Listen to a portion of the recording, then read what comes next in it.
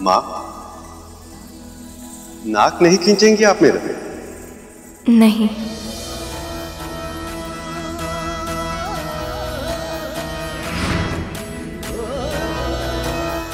विवाह के हर रीत की तरह, इसके निर्धारण के पीछे भी एक कारण था प्रभु। जब वर वधु के माता पिता जमाई के चरण धोते थे तो जमाई के मन में अहंकार आ जाता था और उसे लगने लगता था कि वही सब कुछ है, कोई और कुछ नहीं। तभी वधु की माँ उसकी नाक खींचकर उसको फिर से झुकना सिखाती थी। पर आपके भीतर आपके भीतर तो सभी गुण हैं प्रभु, और फिर भी अहंकार तो क्या? कोई भी दुर्गुण तनिक भी नहीं है। इसीलिए आपके साथ ये रीति करने की आवश्यकता ही नहीं है।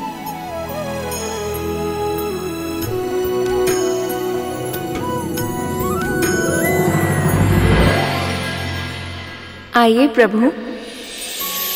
उधारियो। सारी बारातियों के पैर अवश्य पखारना।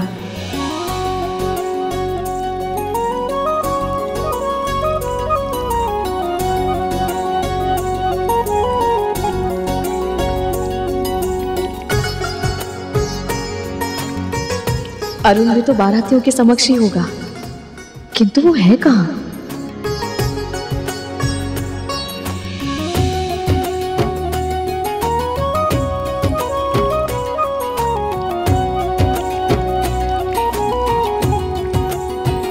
अरुण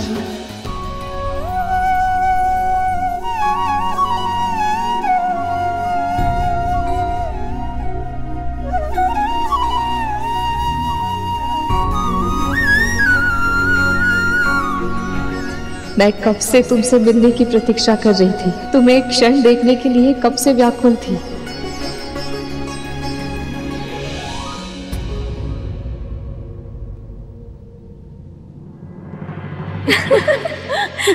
इनके तो पाँव ही नहीं है। फिर पाँव कैसे धोए?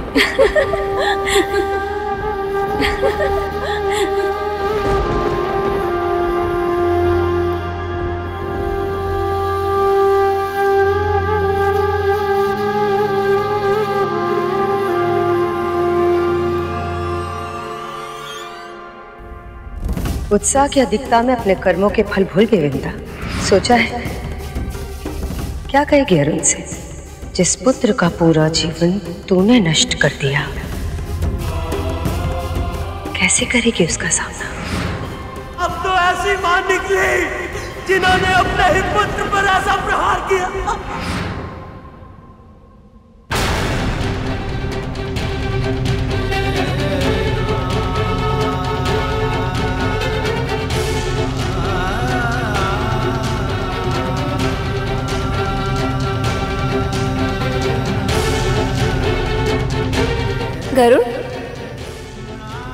तनिक सुन पुत्र।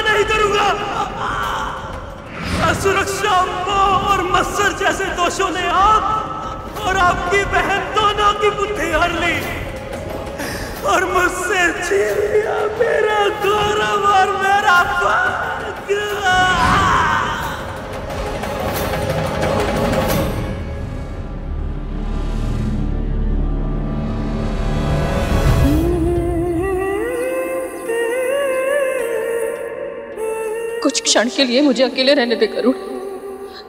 जा यहाँ से।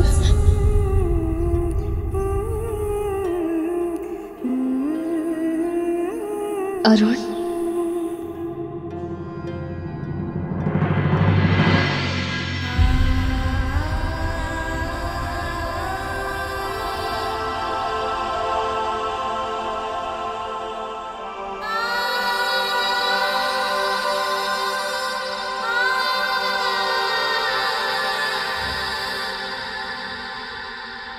अरुण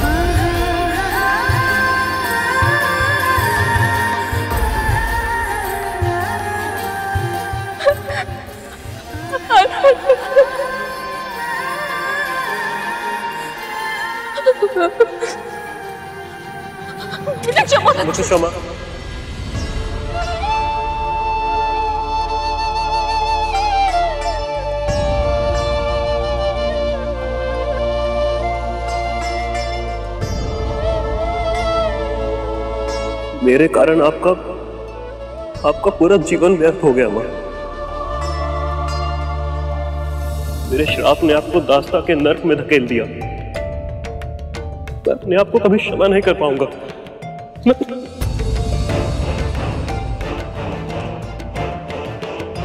नहीं तेरा श्राप पूरी तरह से उचित था।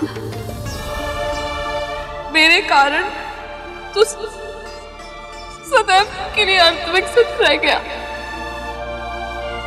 यदि मैंने धैर्य रखा होता तो आज तो आज तो सत्य तो ये है, तेरे जन्म के बाद से हर क्षण मुझे लगता है कि दास्ता का ये जीवन मेरा दंड है। पर मैं आज तक अपने आप को कभी क्षमा नहीं कर पाया, माँ। हर पल, हर क्षण यही अनुभव करता हूँ कि क्यों मैंने अपने क्रोध पर नियंत्रण नहीं रखा।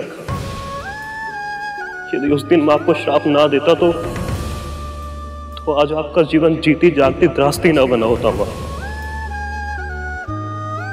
हाँ माँ, मैं आपसे बिछड़कर दूर अवश्य हुआ हूँ। कभी अपने हृदय से एक पल के लिए भी आपको भुला नहीं पाया मैं। आपकी पीड़ा आपकी वेदना प्रतिदिन प्रतिपल सही है मैंने। जब जब आपके कष्टों की वेदना आपके हृदय को पीड़ा पहुंचाती थी तब तक मेरे आँसू छलकते थे। और जब आप उन ओस रूपी आँसू को अपने अपने हाथ में इकट्ठा करके पी जाती थी ना माँ तो मुझे ऐसा लगता था जैसे जैसे आपने मुझे क्षमा कर दिया हो। ऐसा लगता था जैसे जैसा जीवन में और कुछ भी नहीं चाहिए मुझे। कुछ भी नहीं। आप जानती हैं, मेरे जन्म लेने से लेकर आज तक मैंने आपको और आपके प्रेम को केवल अपनी कल्पनाओं में ही अनुभव किया है। आज अपने उन सभी अनुभवों को उनको जीना चाहता हूँ मैं चाहता हूँ कि कि जिस तरह आप गरुड़ के सर पर हाथ रखकर उसे आशीर्वाद देती हैं, मुझे भी दीजिए। जिस तरह अपने हाथों से उसे भोजन करवाती हैं, मुझे भी करवाइए। इतने वर्षों तक आपके प्रेम से वंचित रहा हूँ मैं। बस एक बार एक बार आपके आशीर्वाद को छूना चाहता हूँ मैं। बस एक बार।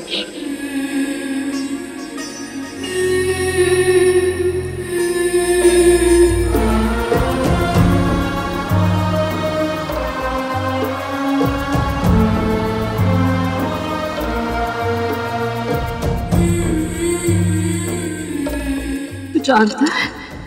गर्व है मुझे तुझ पर। अपनी शारीरिक कमी को तूने अपने उत्थान के मार्ग में अवरोध नहीं बनने दिया। जो तेरी दुर्बलता थी उसे ही अपनी शक्ति बना लिया तूने। मैंने जो भी सीखा है सब आपसे सीखा है माँ। सब कुछ गवा दिया था आपने अपना। किंतु उसके बाद भी आपने कभी अपनी मर्यादा अपने आत्मसम्मान के साथ समझौता नहीं किया। सब आपसे सीखा है मैंने।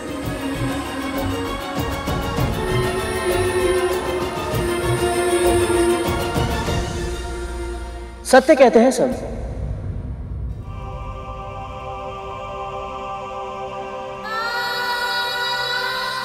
माँ को सबसे अधिक प्रेम अपने पहले पुत्र से ही होता है। देखा आपने अरुण भैया? आपके मिलते ही माँ मुझे भी भूल गई।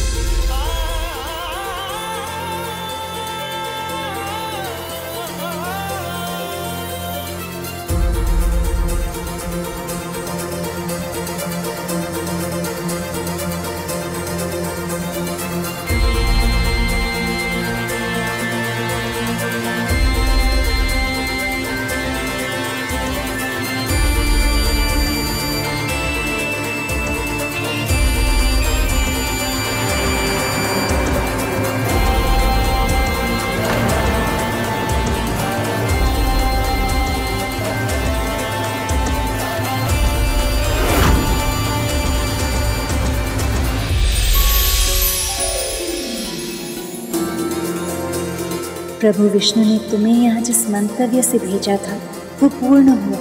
तुम्हें अरुण से मिला के माँ बेटे के मन में जो बोझ था, उसका निवारण किया प्रभु ने।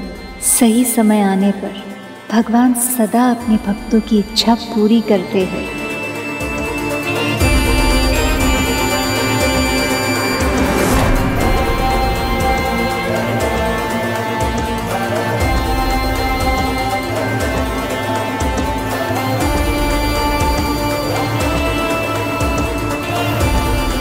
एक बार फिर विद्या और उसके पुत्रों ने मेरी योजना विफल कर दी। मैं स्वयं भस्म हो जाऊँगा। अगर आप सबको छल से मंथन नहीं करने दूँगा। तुम्हें आभास है? तुम किसे धमकी दे रहे हो?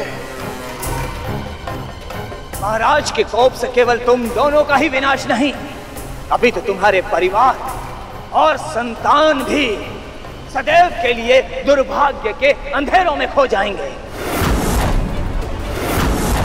अभी भी समय है मूर्खों। अपने ये तने हुए शीश झुकाकर महाराज के आदेश का पालन करो। और हमें चुपचाप मंथन करने दो।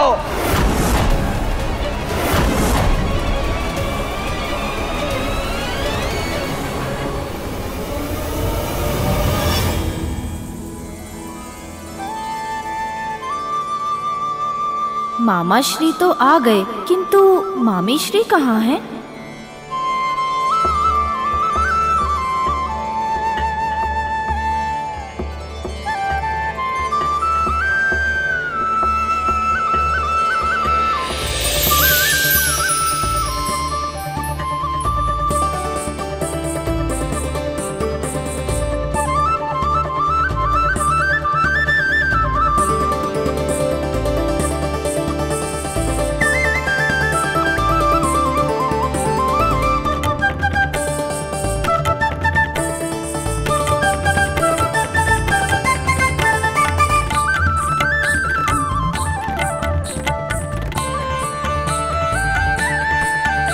लक्ष्मी मुझसे अब और प्रतीक्षा नहीं हो रही।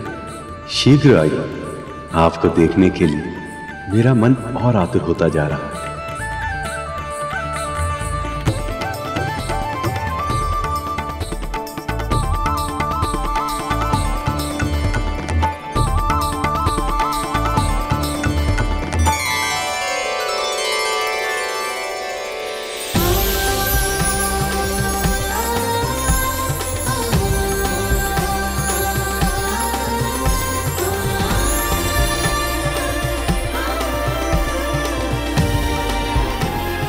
क्षण की प्रतीक्षा मैं कब से कर रहा था? जब आप सदा के लिए मेरी हो जाने के लिए मेरी ओर आएँगे।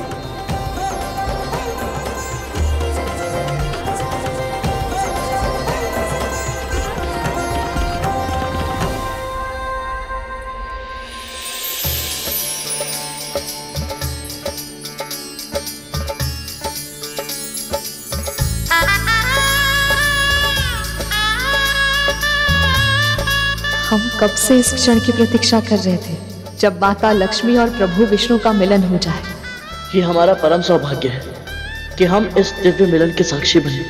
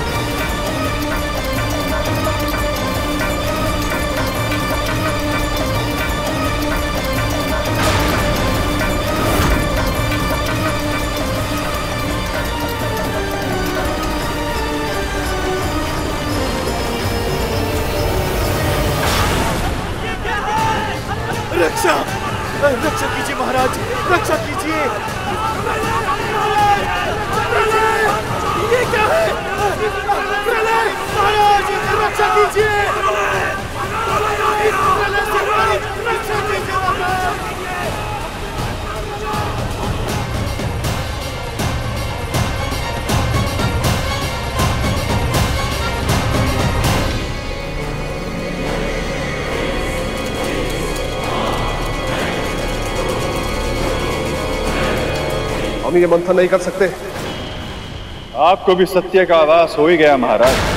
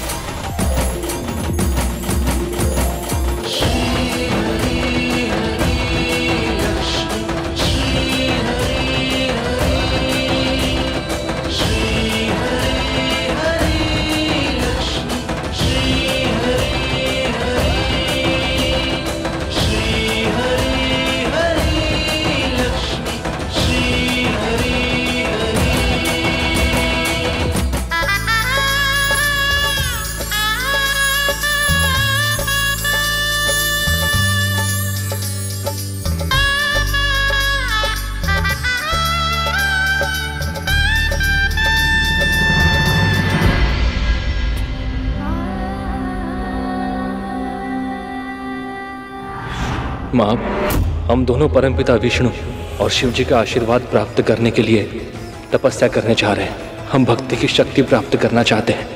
आप भी यही चाहती थी ना कि हम शक्तिशाली बने?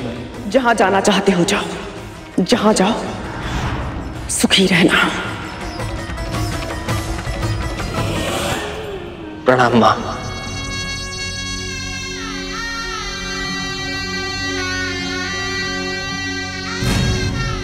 सुखी हो ना आपके आशीर्वाद से परम प्रभु के चरणों में स्थान पा लिया मैंने।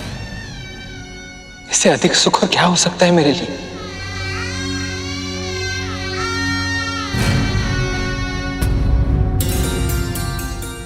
विद्या माँ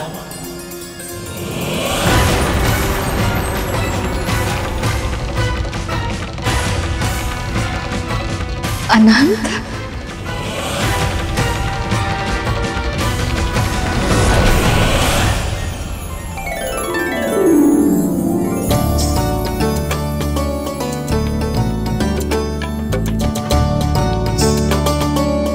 सदैव सुखी रहे। यशस्वी हो। जानते हो, जब से गरुड़ ने तुम्हारे बारे में बताया है, तब से तुम्हें देखने की इच्छा थी अनंत। मेरी भी बहुत इच्छा थी आपके दर्शन करने की, माँ। मैं भले ही घर से दूर चला गया, पर आपका विचार मेरे मन में सदैव रहता है।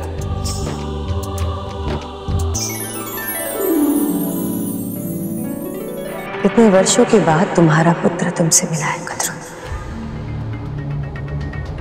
और वो तुमसे अधिक वृंदा से बातें कर रहा है।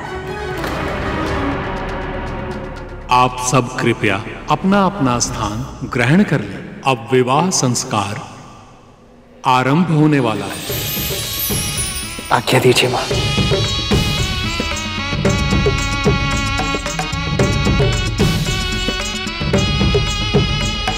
माँ, विवाह को संस्कार क्यों माना जाता है? क्योंकि विवाह कोई शारीरिक या सामाजिक अनुबंध मात्र नहीं है। आध्यात्मिक साधना का माध्यम भी है। दो आत्माओं का पवित्र योग है विवाह।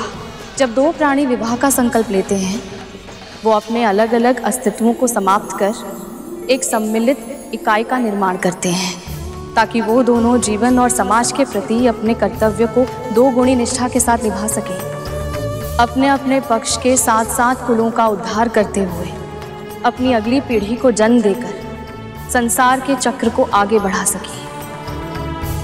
विवाह वो बंधन है गरुड़ जिसमें बंधकर हम अपने माता पिता के ऋण को आंशिक रूप से चुका पाते हैं।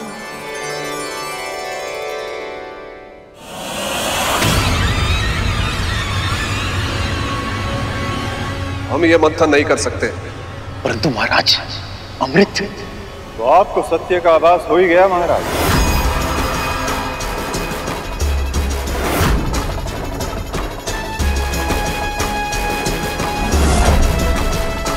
गुरुदेव आप? हाँ मैं। मैं जानता था कि आपको देवताओं की सहायता के बिना अमृत प्राप्त नहीं होगा। फिर भी मैंने आपको प्रयास के लिए प्रोत्साहित किया। मुझे पता था महाराज कि आप इस कार्य में असफल होंगे। तभी आपको समझ में आएगा कि आपके वास्तविक शत्रु देवता नहीं है, बल्कि विष्णु है।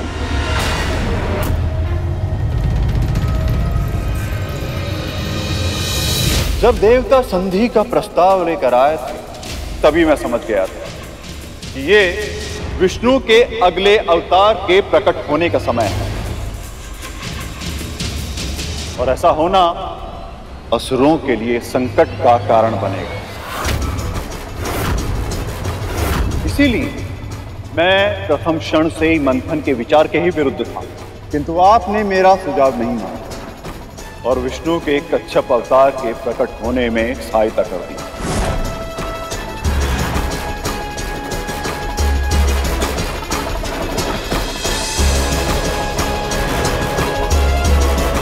और इसी मूर्खता के कारण लक्ष्मी शिव सागर से वापस लौट आए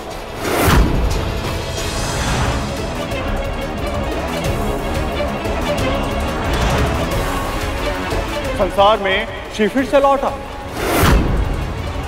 आप सभी असुरों के कारण देवता अपनी शक्तियाँ पुनः प्राप्त करने में सफल हुए।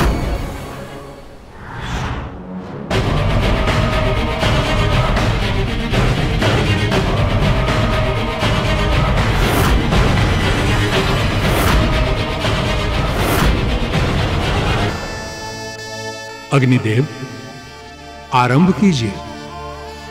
जो आज्ञा ब्रह्मदेव।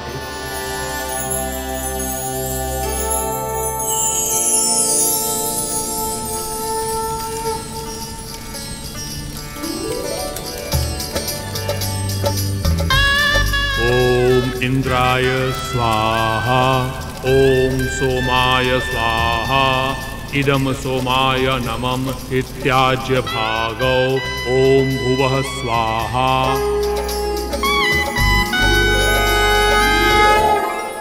और अब विष्णु और लक्ष्मी दोनों देवताओं के साथ हैं। इसलिए देवता इस मंथन के कार्य को भी पूर्ण करेंगे और उन्हें अमृत भी प्राप्त होगा।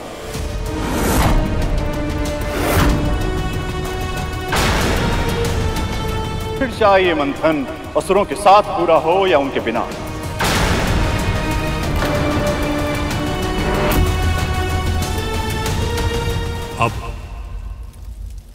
कन्यादान होगा समुद्र देव महारानी, अब आप वधु का हाथ अपने हाथ में लें और उसे वर के हाथ में रख दें। कन्यादान का अर्थ होता है, पिता द्वारा कन्या का सारा दायित्व वर के हाथों में सौंप देना। और उस पर अपना अधिकार सदा के लिए त्याग कर देना। कन्यादान के बाद वधु पूरी तरह से वर की हो जाती है।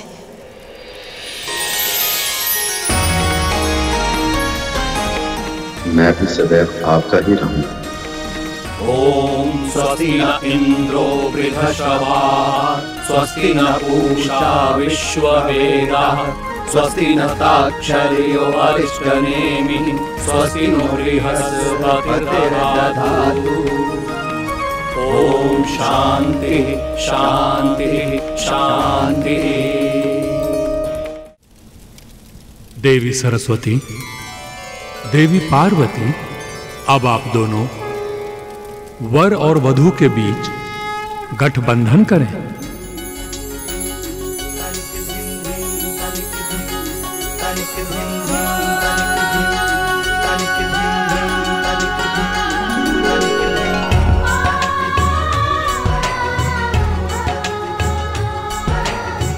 ध्यान से देखो पुत्र। इस गठबंधन में रखे जाने वाली हर वस्तु का एक विशेष अर्थ और महत्व है। मुद्रा का अर्थ है, धन पर पति और पत्नी का समान अधिकार होगा। पुष्प सदैव हँसते और मुस्कुराते रहने का प्रतीक है। हल्दी निरोगी जीवन की प्रतीक होती है। एक गृहस्थी सुचारू रूप से तभी चल सकती है जब पति पत्नी दोनों पूरी तरह से स्वस्थ और निरोगी हों। और फिर मेरी प्रिय दूरवा घास भी डाली जाती है, जो कभी ना मुरझाने वाले प्रेम की प्रतीक है। जानते हैं अरुण गरुड़, दूरवा कितनी भी क्यों ना सूख जाए। उसे भूमि पर डाला जाए तो वो फिर से उग जाती है। इसीलिए दूरवा ये संदेश देती है कि यदि कभी क्रोध और रुष्टता के कारण दाम्पत्य जीवन का पौधा सूखने लगे तो उसे प्रेम की भूमि में बो करके फिर से हरा भरा बना लेना चाहिए। वो देखिए देवी सरस्वती ने अभी अभी गठबंधन में अक्षत डाला है। अक्षत अन्न की संपन्नता का प्रतीक होता है पुत्रों और इतनी संपन्नता तो होनी ही चाहिए कि परिवार के साथ साथ समाज की भी भूख मिट जाए।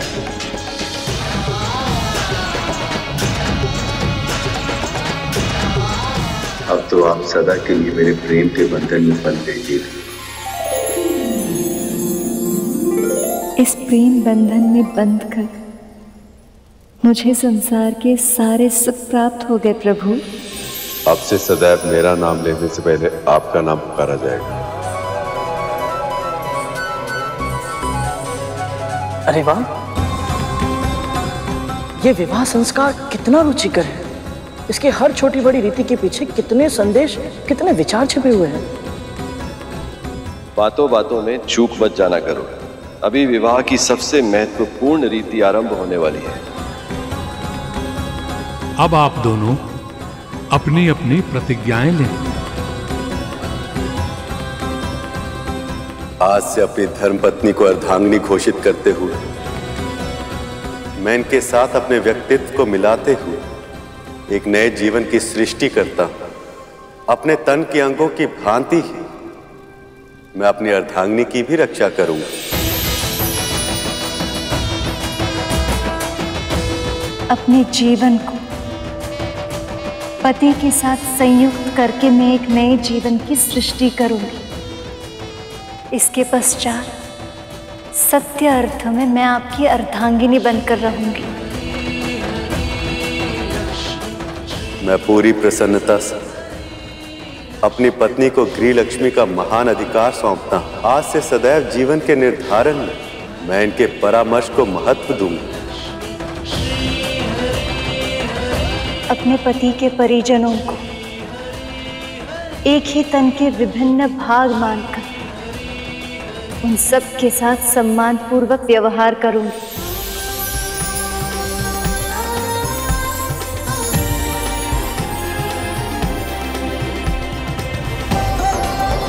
नारद गरुड़ शेषनाग, मेरे और श्री विष्णु के परिवार के अभिन्न अंग। हैं ये सब और मेरे सारे सच्चे भक्त ही तो हैं मेरा परिवार।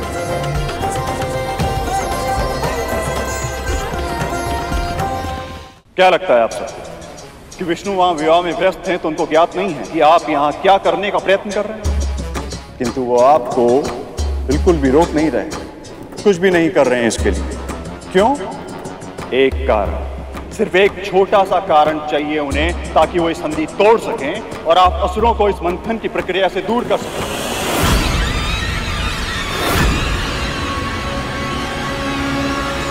ताकि सारा का सारा अमृत देवताओं को प्राप्त हो सके।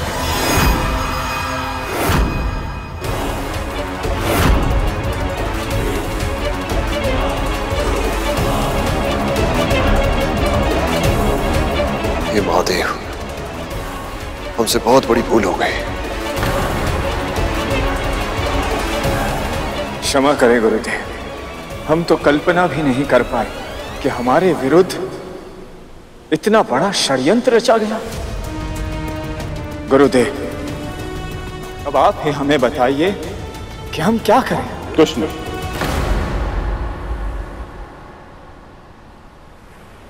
जब आप कुछ नहीं कर सकते। इसलिए जो संकल्प किया है, उसे पूर्ण करना होगा।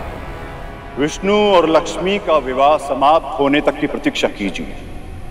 और उसके बाद पुनः मंथन के कार्य में जुट जाइए। पर इस समुद्र मंथन के साथ साथ एक विचार मंथन भी अपने मस्तिष्क में हर क्षण करते रहिए कि असुरों को अमृत पहले कैसे प्राप्त हो।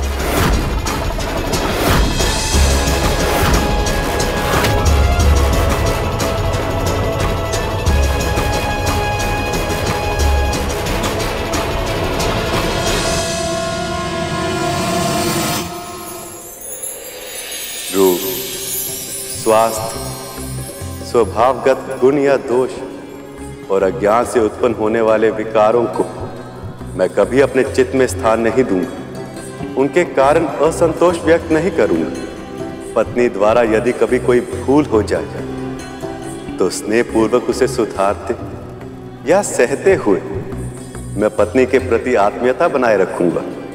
सदैव परिश्रम पूर्वक घर के सारे कार्य करूँगी। मैं पति की प्रगति और घर के विकास के लिए समुचित योगदान करूँगी मैं पत्नी का मित्र बनकर रहूँगा और सदैव अपार स्नेह देता रहूँगा इस वचन का पालन मैं पूरी निष्ठा और सत्य के आधार पर करूँगा।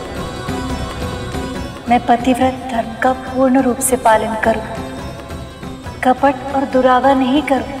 पति के आदेशों का अविलंब पालन करने का अभ्यास करूँगी। जिस तरह से पत्नी के लिए पतिव्रत की मर्यादा का निधान मैं स्वयं उसी दृढ़ता से पतिव्रत का पालन करूँगा। चिंतन और आचरण दोनों में पर नारी के साथ वासनात्मक संबंध का विचार भी कभी नहीं आने दूँगा मैं सेवा स्वच्छता और प्रिय वचन का सदैव पालन करूँगी। ईर्ष्या और कुड़न से दूर रहूँगी और सदैव प्रसन्नता बांटने का प्रयास करूँगी। पत्नी की प्रगति सुख और सुरक्षा की व्यवस्था मैं अपनी पूरी शक्ति के साथ करूँ। किसी के सामने भी पत्नी को लांछित या तिरस्कृत कभी नहीं करूँगा। पत्नी होने के नाते मेरे पति मेरे लिए देवता स्वरूप यही मानकर और सारे मतभेदों को भूलकर मैं सदैव आपकी सेवा करूँगी कभी आपका अपमान नहीं करूँगी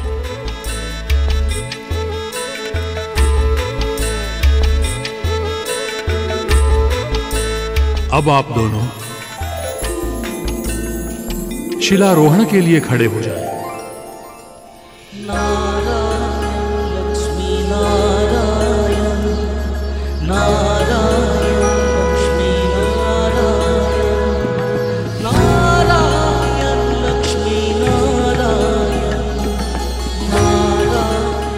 दोनों ये प्रतिज्ञा लेते कि शिला की तरह स्थिर रहकर हम सदैव अपनी प्रतिज्ञाओं का पालन करेंगे। हम दोनों ये प्रतिज्ञा लेते हैं कि शिला की तरह स्थिर रहकर हम सदैव अपनी प्रतिज्ञाओं का पालन करेंगे।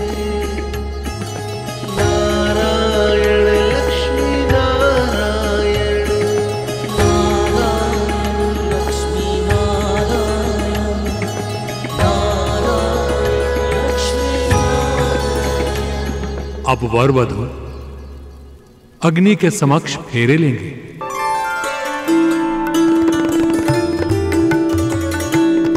माँ ये सभी फेरे अग्नि के सामने क्यों लिए जाते हैं? क्योंकि अग्नि सूर्य देव का प्रतीक है गरुड़। और सूर्य देव से अधिक इस संसार में घटित हर कर्म का साक्षी और कौन हो सकता है? सब कुछ देखते हैं सूर्य देव इसीलिए उनको अर्थात उनकी प्रत्येक अग्नि को ही साक्षी मानकर विवाह किया जाता है, गरुड़। अद्भुत। ये जानने के बाद तो मैं स्वयं को और अधिक सौभाग्यशाली अनुभव कर रहा हूँ। क्योंकि अग्निदेव और सूर्यदेव मेरे बड़े भाई हैं।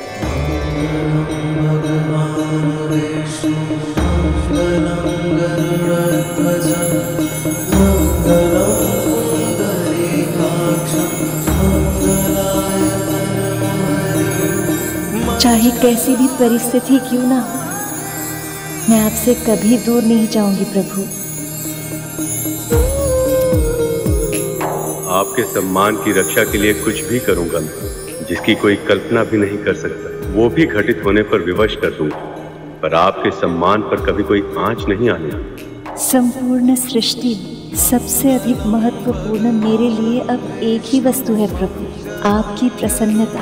अरुण गरुड़, देखो, इस संसार में पुरुष से अधिक महत्व नारी को दिया जाता है। इसलिए पहले चार फेरों में नारी का स्थान आगे होता है। मैं सदैव अपने सुख से अधिक महत्व आपके सुख को दूँगा। अपनी आवश्यकताओं से पहले आपकी आवश्यकताओं का ध्यान रखूँगा। आपका हर्ष उल्लास, अपनी प्रसन्नता से भी अधिक महत्वपूर्ण होगा मेरे लिए। संतुलन बनाए रखने के लिए अंतिम के तीन फेरों में पुरुष को आगे बुलाया जाता है।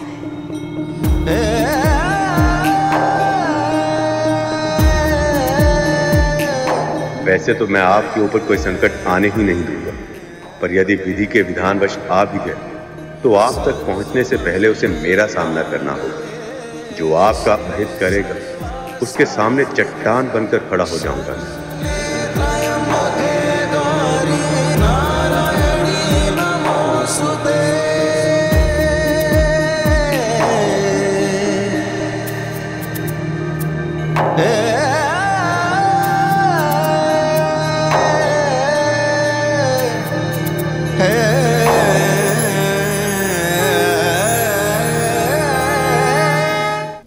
सप्तपदी की रीत की जाएगी।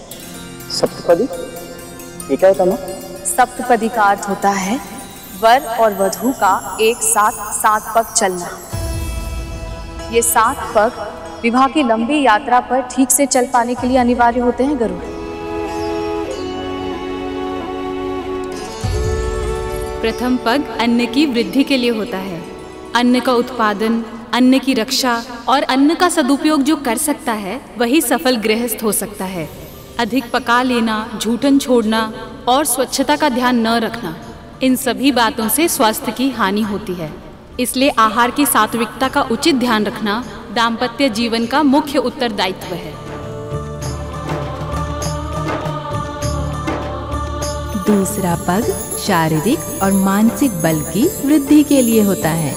व्यायाम परिश्रम, उचित और नियमित आहार विहार से तन का बल स्थिर रहता है। अध्ययन और विचार विमर्श से मनोबल बढ़ता है।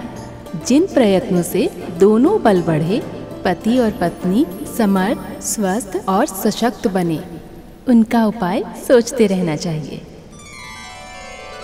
तीसरा पग धन की वृद्धि के लिए होता है। जैसे मुद्रा अर्जित करना आवश्यक है, वैसे ही व्यय की मर्यादाओं का ध्यान रखना दाम्पत्य जीवन का प्रमुख कर्तव्य है। चौथा पग होता है सुख की वृद्धि के लिए। पति पत्नी प्रसन्न चित्त रहे मुस्कुराने का अभ्यास करें। हँसते हंसाते जीवन व्यतीत करें। सदैव ध्यान रखना जो संतोष करना जानता है सुखी भी वही रह सकता है।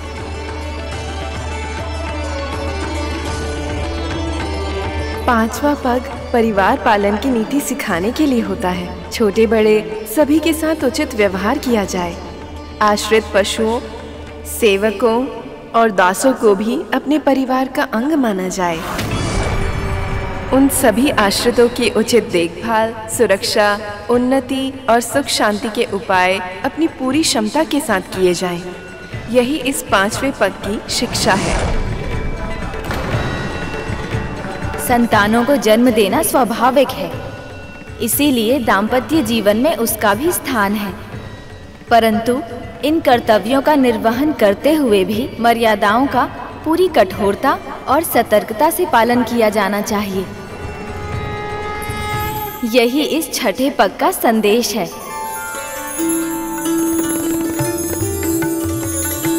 और ये सातवां पग मित्रता को स्थिर रखने और बढ़ाने के लिए होता है। पति पत्नी दोनों ही ये ध्यान रखें कि उनकी ओर से कोई त्रुटि तो नहीं हो रही। साथ ही अगर कोई भूल कर भी रहा हो तो उसका उत्तर कठोरता से नहीं, बल्कि सच्चता और सहृदयता के साथ दिया जाना चाहिए।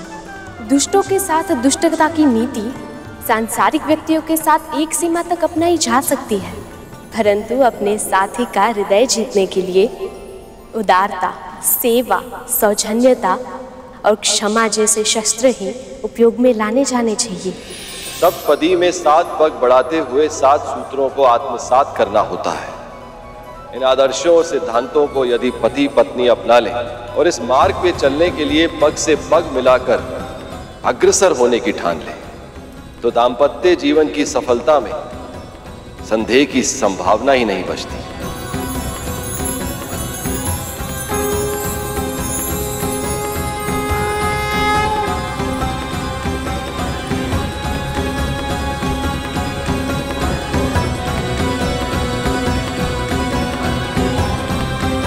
सप्तपदी होने के बाद ही अर्धांगिनी को वामांगी का अधिकार प्राप्त होता है।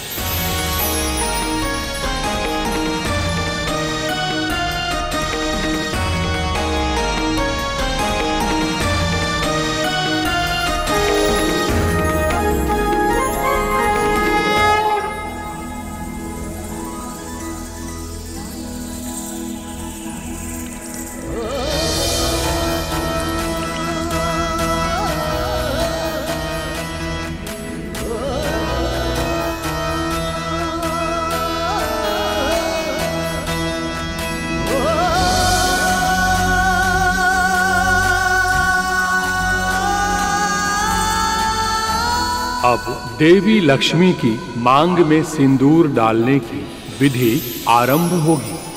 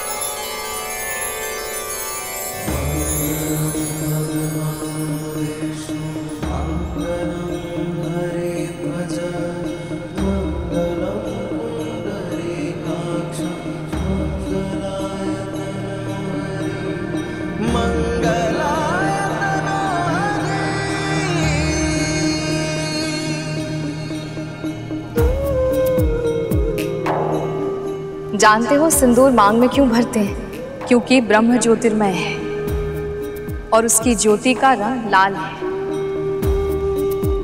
और ये शुभ इसलिए होता है क्योंकि नारी की मांग ब्रह्मरंध्र के ठीक ऊपर होती है। स्त्रियों का ये स्थान बहुत कोमल होता है। इसलिए यहाँ सिंदूर भरने से स्त्री के तल में विद्युत तरंगे नियंत्रित रहती हैं। सिंदूर दान की इस अंतिम रीति के साथ अब विवाह संपन्न हुआ।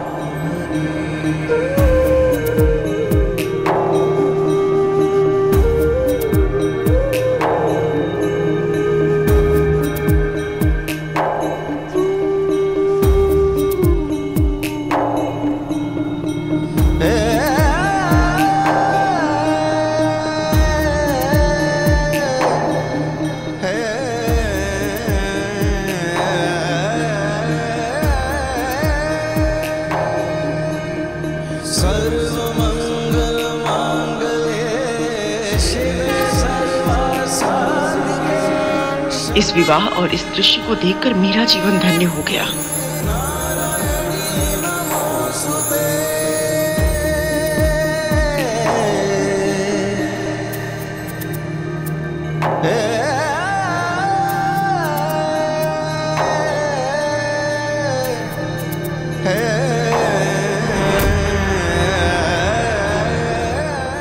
कदरू तुम्हारा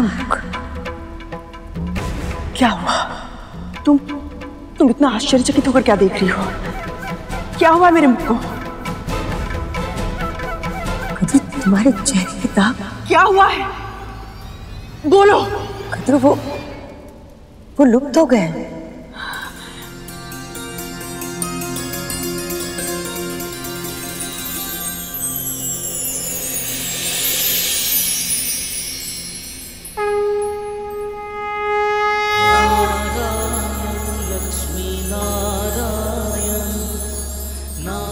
धन्यवाद प्रभु विष्णु। धन्यवाद। माता लक्ष्मी आपको कोटि कोटि धन्यवाद।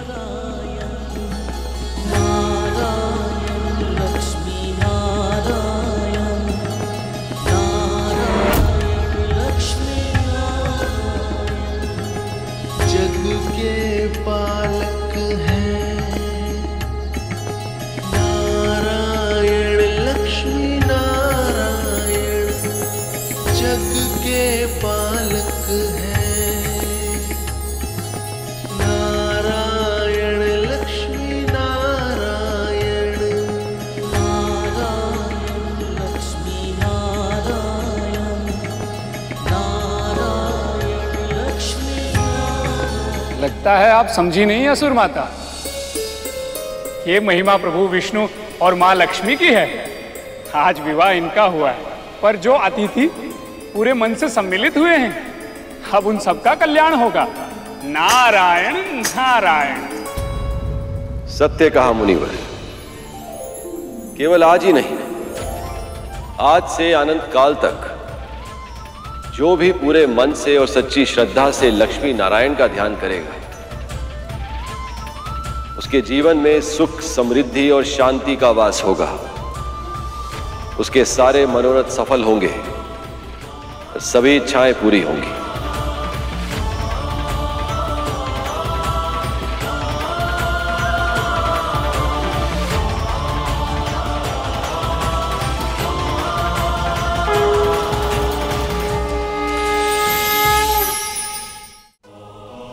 मेरी तो बस एक ही इच्छा है। मेरी संतानों को अमृत मिल जाए और वो सर्वशक्तिमान बन जाए।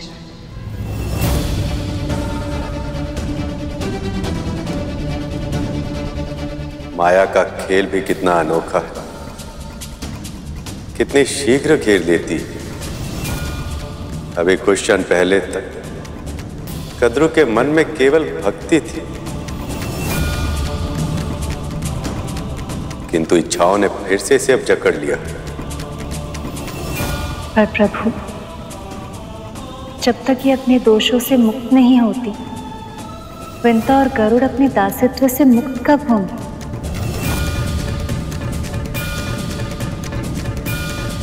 शीघ्र होगा। अब वो मेरा दायित्व है।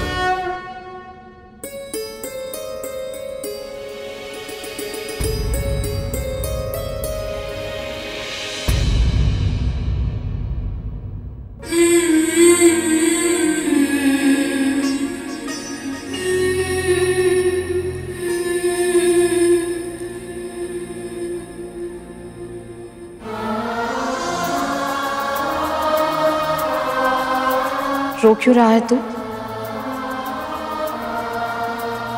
मुझे दासी के इन वस्त्रों में देखकर। ये तो होना ही था ना गरुड़ परंतु क्यों माँ? जब प्रभु विष्णु और माता लक्ष्मी के आशीर्वाद से बड़ी माँ के मुख्य दब्बे हट सकते हैं हमें दासत्व से मुक्ति क्यों नहीं कर। किसी और को क्या मिला है और हमें क्या नहीं मिला ये सोचना व्यर्थ है। मैं अपने जीवन में ये भूल एक बार कर चुकी हूँ।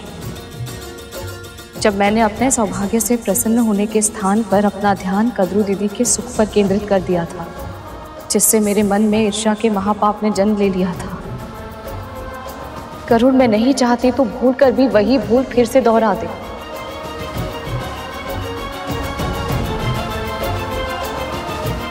आप सही कह रही हो।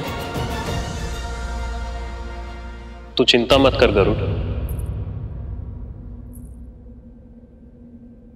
मुझे पूरा विश्वास है। जिस तरह भगवान दत्तात्रेय की कृपा की वर्षा माँ पर हुई है उसी तरह प्रभु विष्णु और माँ लक्ष्मी की कृपा भी आप पर होगी माँ। उनकी कृपा का आशीर्वाद तो मुझे पहले ही मिल चुका है अरुण। इतने अच्छे इतने संस्कारी दो दो पुत्र जो दिए हैं उन्होंने मुझे। अपने पुत्रों के अच्छे कर्म और सेवा का फल ही तो है जिसके कारण मैं इस पवित्र समारोह में सम्मिलित हो पाई हूँ। यहाँ इतना सम्मान, इतना अपनापन मिला है मुझे। ये सब केवल इस जन्म में ही नहीं। आने वाले हर जन्म में मुझे सुख देने के लिए पर्याप्त है। अब और मुझे कुछ नहीं चाहिए।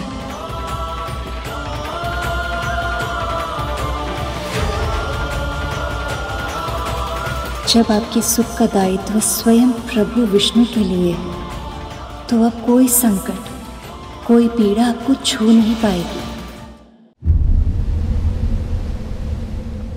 प्रभु विदाई के इस भावुक क्षण में हम दोनों की ओर से छोटा सा उपहार स्वीकार कीजिए।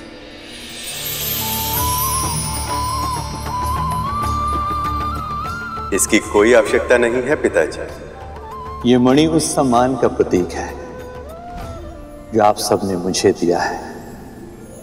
आज मैं अपनी पुत्री के साथ साथ इस मणि को भी आपको सौंप रहा हूँ। आपकी पुत्री मेरे हृदय में वास करती। है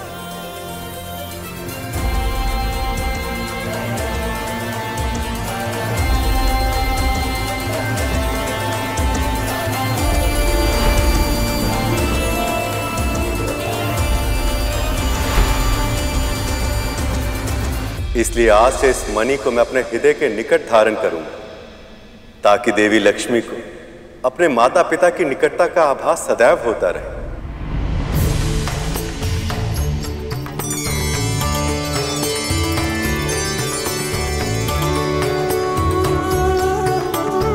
सारे संसार की श्री को हम दोनों भला दे ही क्या सकते हैं? फिर भी पुत्री, इसे हमारी प्रेम की भेंट समझकर स्वीकार कीजिए।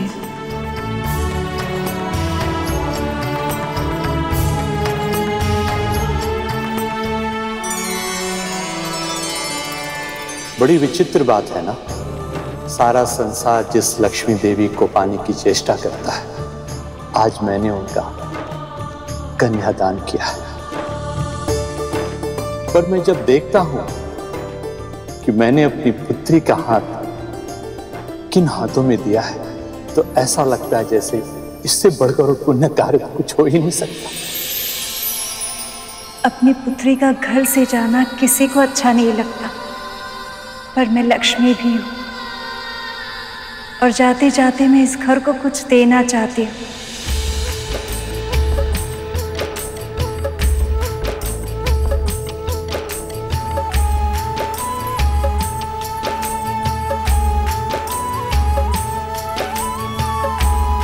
ये खिल प्रसन्नता का प्रतीक है, जो मुझे इस घर ने दिया। है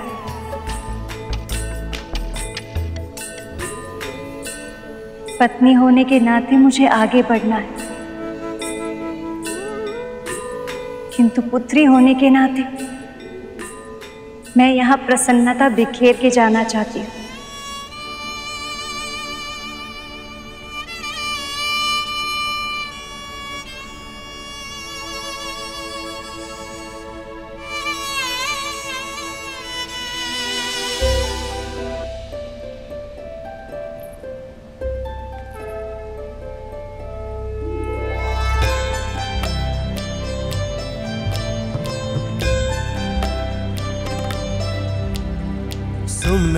सुमनत वंदित सुंदरी माधवी चंद्र सहोदरी है ममाए मुनि गण वंदित मोक्ष जिसका पुत्र स्वयं स्वर्गाधिपति हो उसे किसी के सामने झोली फैलाने की क्या आवश्यकता देव सुपूजित सद्गुण वर्षिणि शान्तियुते जय जय हे मधुसूदन कामिनि धन लक्ष्मी रूपेण पालय श्लो अष्टलक्ष्मी नमस्तुभ्यं वरद कामरूपिणी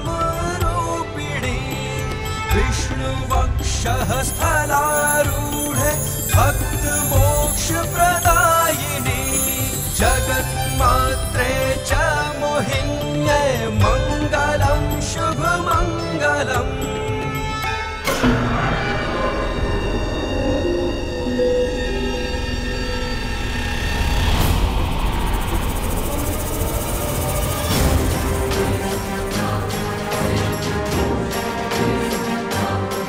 बस एक था ना। इससे क्या होगा? अच्छा हो ये व्रत की प्रथा के साथ ये विवाह भी संपन्न हुआ और अब शुरू होगा मंथन। रुक जाइए मामी श्री। आप इस रथ पर नहीं चढ़ सकती। गणेश जी अब क्या करना चाहते हैं? कहीं कोई भूल चूक ना हो गई। अब और विघ्न ना आ जाए।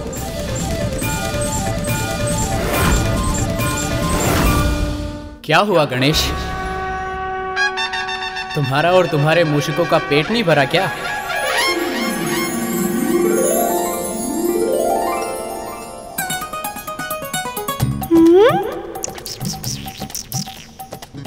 पेट तो भर गया भ्राता, किंतु मन नहीं भरा। मुझे नेक दिए बिना आप रथ पर नहीं चढ़ सकती मामी श्री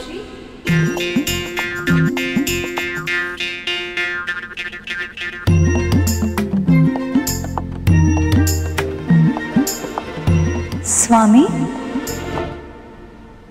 अभी तो आपने वचन दिया था कि सारी परिस्थिति में आप मेरे साथ रहेंगे। और अभी आपने मुझे अकेला छोड़ दिया। मैं आपके साथ ही हूँ देव, और सदैव आपके साथ रहूँगा। किंतु छोटे भांजे ने आपसे नेक मांगा है। ये उसका अधिकार है। ये तो आपको अवश्य देना होगा।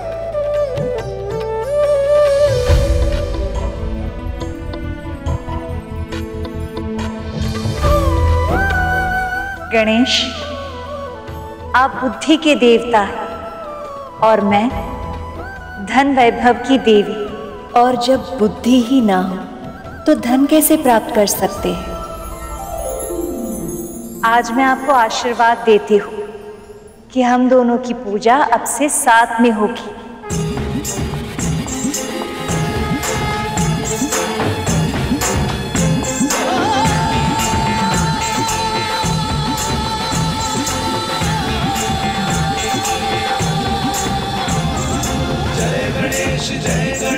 जो हम दोनों का स्मरण साथ में करेगा। वो ज्ञान और सफलता दोनों पाएगा।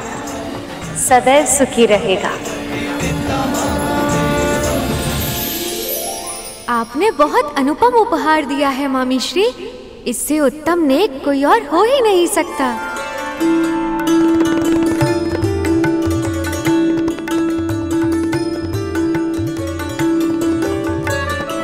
आइए देव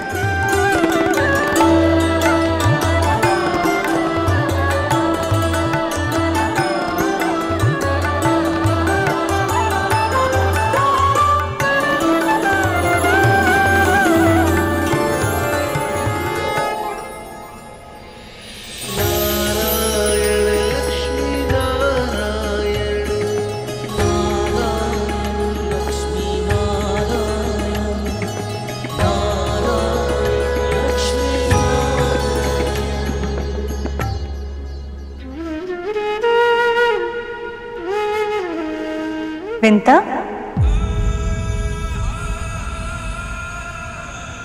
तुम वहाँ क्यों खड़ी हो? तुम्हें हमारे साथ वैकुंठ चलना है। मैं वैकुंठ प्रभु विष्णु के धाम।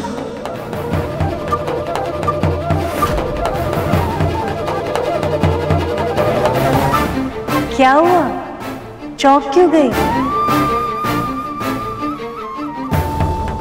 विवाह हुआ है। पर वैकुंठ में भी तो रीतियाँ होंगी ना? जिस प्रकार इतने अच्छे से तुमने मेरी यहाँ सहायता की, वहाँ वैकुंठ में भी तो करोगी ना? सदैव चिंता को मुझसे अधिक महत्व मिलता है।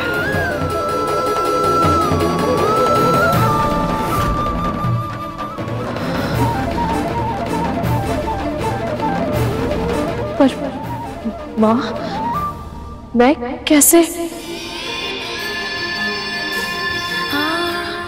नहीं नहीं माँ मैं नहीं आ सकती वहाँ।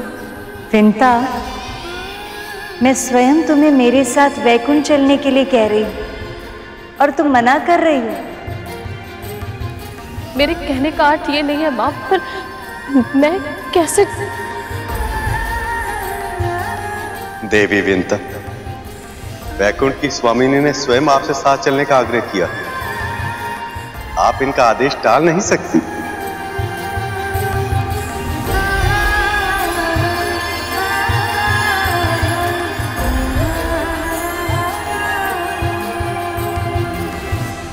प्रभु, स्वागत की तैयारियाँ करने के लिए हमें आपसे पहले पहुँचना होगा। आज्ञा दीजिए।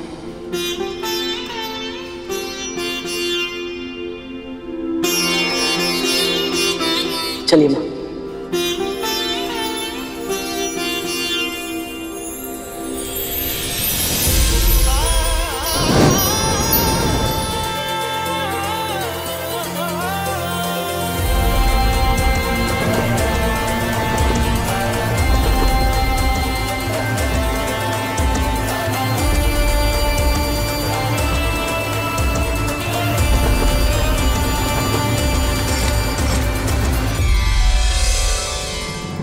रुको कदरू।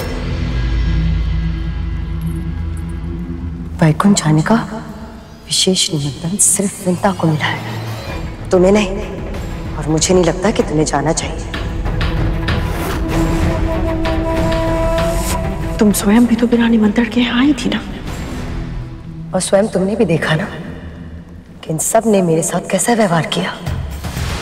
इन सबने मेरी उपेक्षा की है। पर मैंने कैसे भी करके अपने क्रोध पर नियंत्रण कर लिया।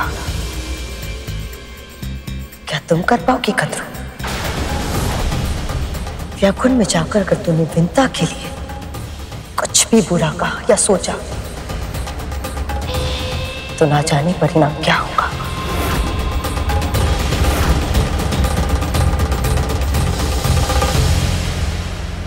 यदि प्रभु विष्णु और देवी लक्ष्मी मुझसे रुष्ट हो गए तो अपने पुत्रों के लिए अमृत पाने का मेरा स्वप्न स्वप्न ही रह जाएगा। तुम ठीक कह रही हो। मुझे वैकुंठ नहीं जाना चाहिए।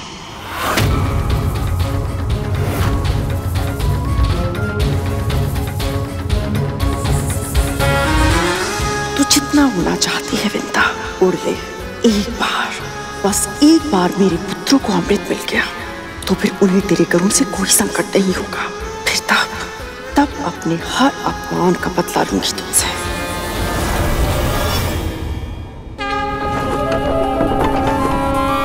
अद्भुत, अविश्वसनीय, कितना सुंदर है ये लोग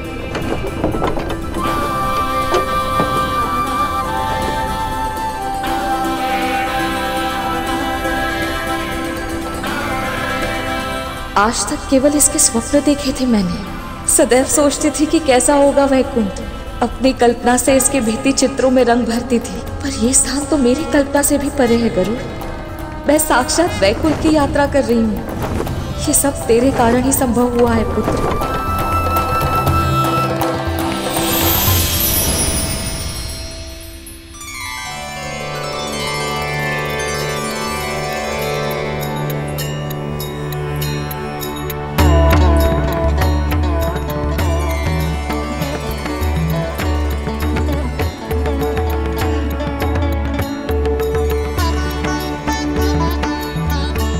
मुझे तो विश्वास ही नहीं हो रहा करूर मैं वैकुंठ के द्वार के सामने हूँ। इतना बड़ा सौभाग्य, इतना सारा सुख ये अकल्पनीय है करुण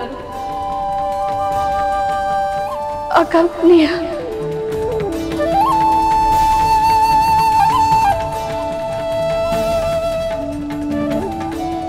विंता आओ आओ।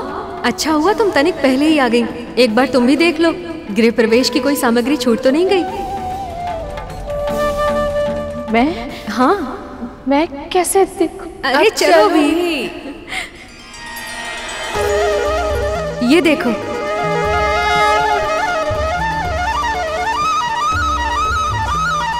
देखो ना विंता कोई सामग्री छूट तो नहीं गई?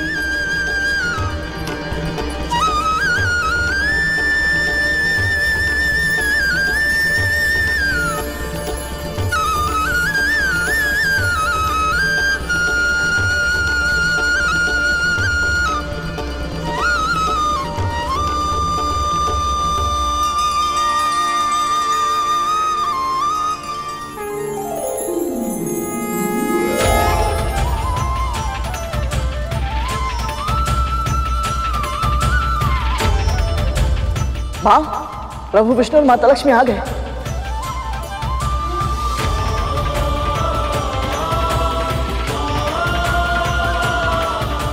मुझे सदा से ज्ञात था कि समुद्र मंथन कराने से हमारा मिलन अवश्य होगा और आज आपको अपने साथ वैकुंठ लाते हुए मेरे सारे प्रयास सफल होने का अनुभव हो रहा है मुझे।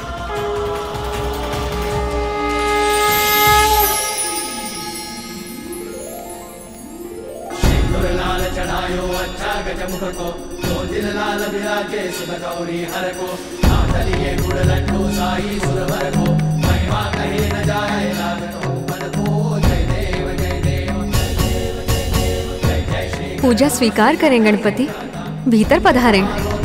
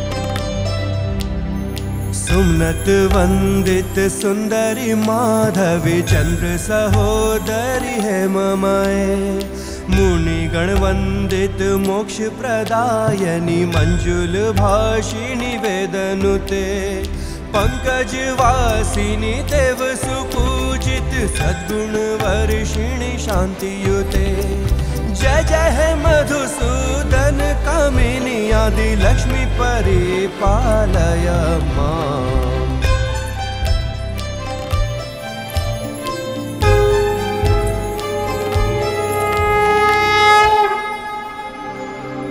माँ अरुंधति माँ अनुसुईया जिस आत्मीयता से आपने मेरा स्वागत किया, उससे मैं अभिभूत हो गई गरुड़ विंता तुम दोनों अपनी कर्तव्य, पूरी निष्ठा के साथ निभाते और वो बहुत प्रशंसनीय है।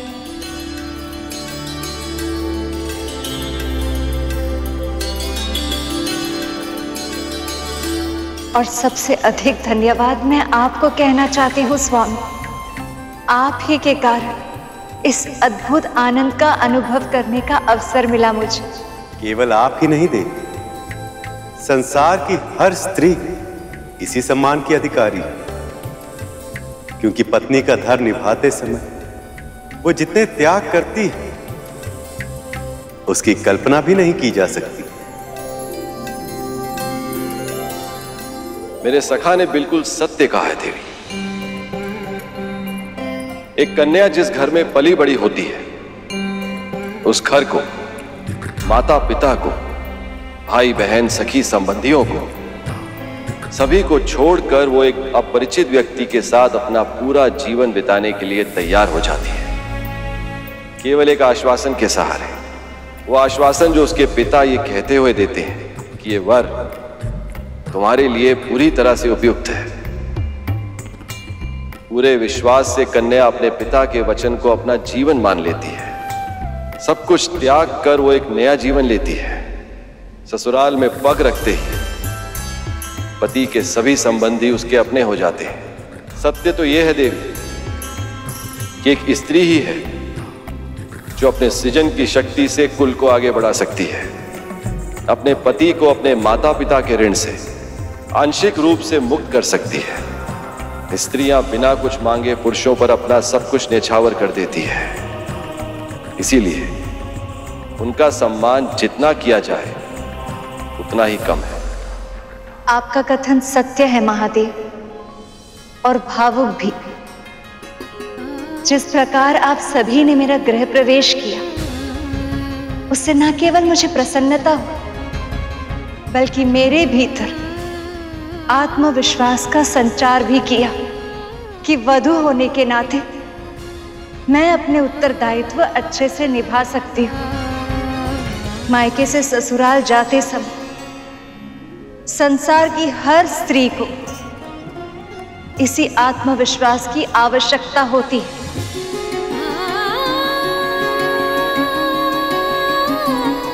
इसलिए मैं ये संकल्प लेती हूँ, स्वामी।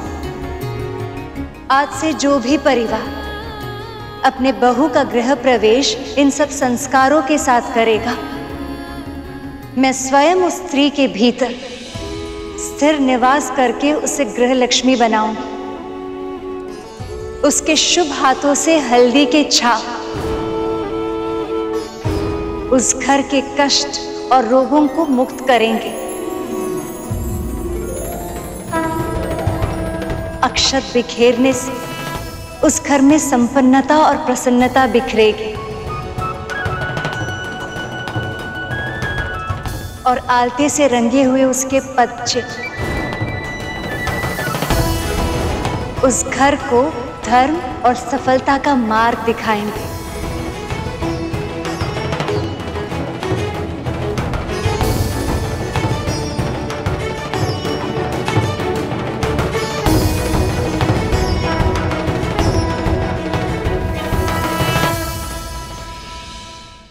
यदि तुम सब मानते हो कि हमारे प्रतियोगी केवल देवता हैं तो तुम सब भ्रम में हो। अमृत पर केवल देवताओं की नहीं, नागों की भी दृष्टि है। और नाग ही क्यों? जो भी प्राणी एक निश्चित आयु लेकर इस संसार में आता है और अपना समय पूरा होने के बाद पंच तत्वों में विलीन हो जाता है और वो प्राणी इस अमृत को पाना चाहेगा। इसीलिए हमारा पूरा ध्यान अपने लक्ष्य पर केंद्रित होना चाहिए। ताकि अमृत प्रकट होते ही सबसे पहले हम उसे छीन सके। पर यह कैसे होगा महाराज? क्योंकि गरुड़ की तीव्र दृष्टि सदैव हम ही पर बनी रहती है। हाँ महाराज मंद्राचल से लेकर वासुकी तक सब सदैव केवल देवताओं का ही पक्ष लेते हैं। और वैसे भी महाराज अब विष्णु के साथ साथ देवी लक्ष्मी भी इस बंधन को देखेगी। उन सब की कड़ी दृष्टि के सामने कैसे चुराएँगे हम अमृत?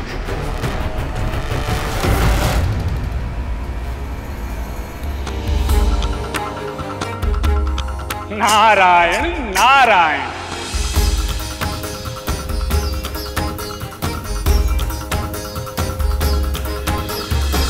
आप जानते हैं, माँ, एक दिन यही वैकुंठ में खड़े होकर गरुड़ के मन में भी इच्छा आई थी कि वो प्रभु विष्णु और माँ लक्ष्मी के मिलन में सहायक बने।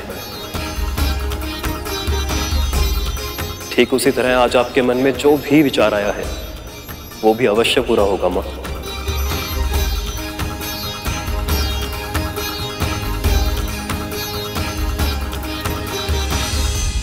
वैसे सखी, जब से आपने स्वयंवर में नारायण को चुना है, तब से मेरे भीतर एक प्रश्न उमड़ रहा है। कहा तो आप मृगनैनी मनमोहक लाल गालों वाली रूपमती देवी, और कहा ये नारायण, जो कभी तो सलोने दिखाई देते हैं, और कभी सांवला श्याम रंग धारण कर लेते हैं। आप कमल पुष्प पर विराजती हैं और ये विशाल सर्प पर?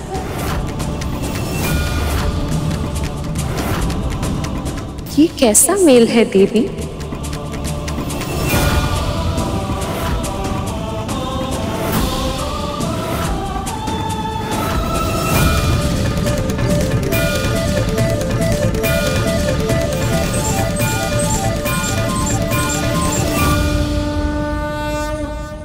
माँ पार्वती।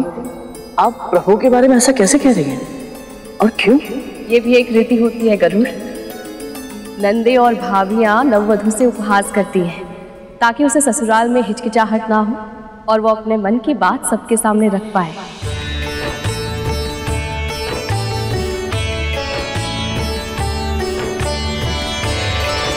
श्याम रंग तो कस्तूरी का भी होता है सखी जिसे हम मस्तक में धारण करते।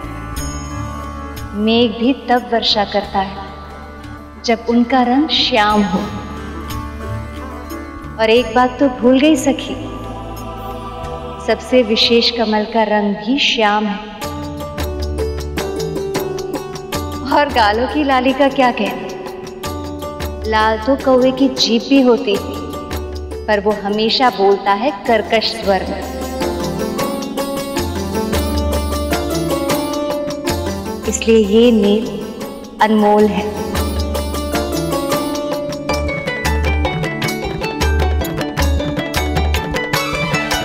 बस ऐसे ही एक दूसरे का पक्ष लेते रहिए। एक दूसरे का साथ देते रहिए। चलिए ये रीति भी पूरी हो गई। अब प्रथम रसोई की रीति भी कर लेते हैं। अभी लाई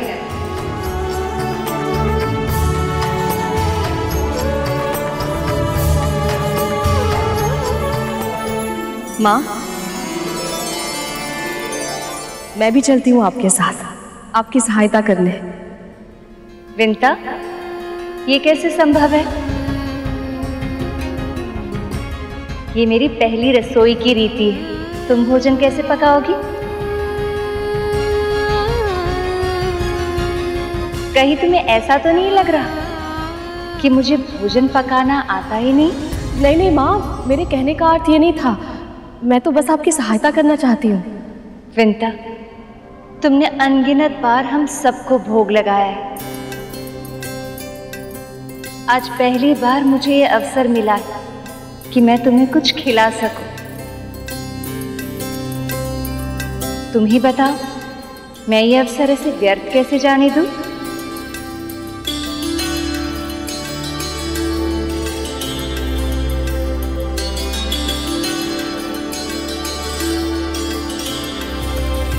माँ लक्ष्मी रसोई में कार्य करके पकवान बनाए और मैं उन्हें ग्रहण करूँ। जो कभी स्वप्न में भी नहीं देखा था, जिसकी कल्पना भी नहीं की थी, वो सत्य हो रहा है गरुड़। भगवान को भोग लगाकर जब मन को इतनी प्रसन्नता मिलती है तो उनके हाथों से भोग खाकर तो ये जीवन तृप्त हो जाएगा, पुत्र।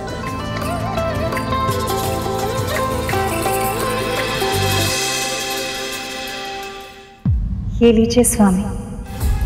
अपनी पहली रसोई के रीति में मैंने मखाने की खीर बनाई।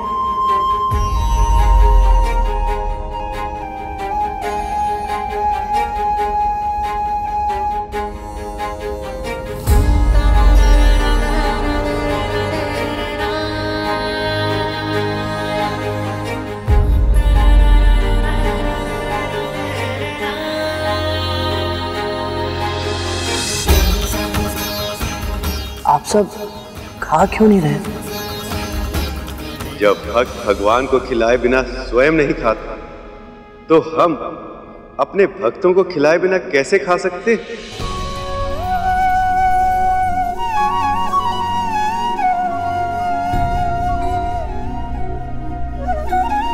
खाइए दे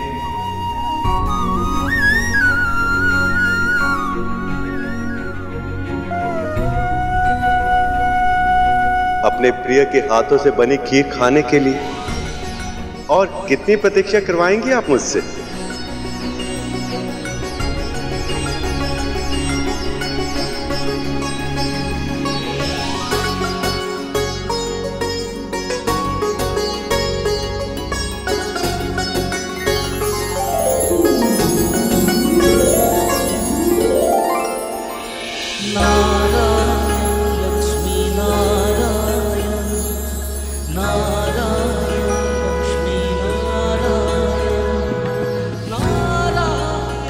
यदि बड़ी माँ यहाँ होती तो देखती कि मेरी माँ किस सम्मान के योग्य है।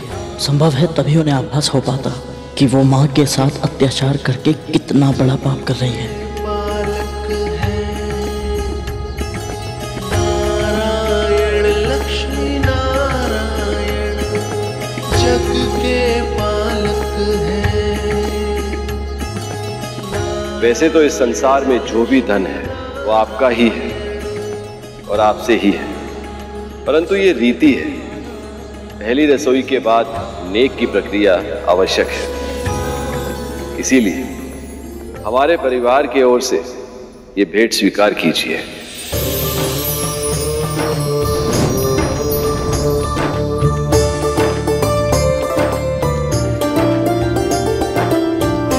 जन कल्याण का साक्षात स्वरूप है आप दोनों। आप सदैव जन कल्याण करते रहिए। यही हमारा आशीर्वाद है और हमारा उपहार भी। प्रभु देवी लक्ष्मी ये मेरी और देवताओं की ओर से आपके लिए छोटी सी भेंट।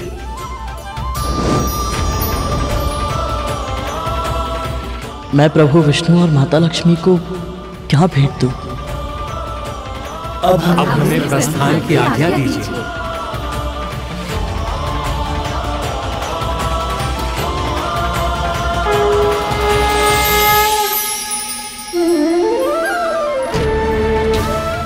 हम दोनों तो दास हैं। हम आपको क्या दे सकते हैं भला? तुम दोनों ने हमें पहले ही उपहार दे दिया है। अपनी भक्ति का उपहार।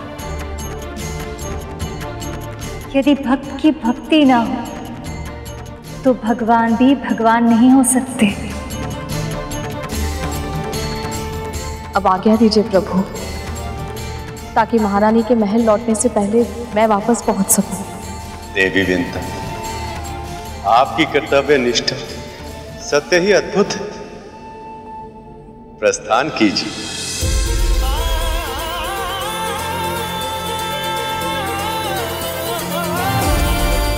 मेरे लिए क्या आज्ञा है प्रभु? तुम्हारा संदेश सही था गर असुरों ने मंथन का प्रयास इसलिए किया था ताकि वह अमृत को अकेले ही पा सके। किंतु वह विफल हुए। अब उनकी इच्छा और भी तीव्र हो गई है और वह अमृत को चुराने के लिए किसी भी सीमा तक जा सकते हैं। अब यह हमारा दायित्व है, गर्व।